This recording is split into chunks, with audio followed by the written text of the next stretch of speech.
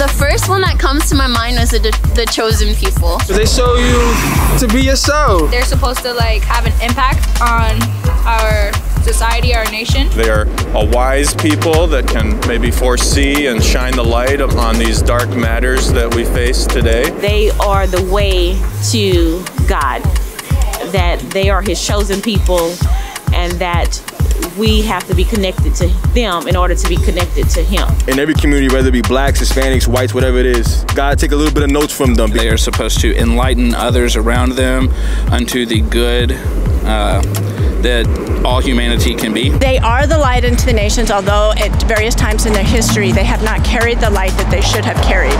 And they could be, and that's what they were designed to be, and that's what God chose them to be. So they need to step up to the plate and be the light of the world.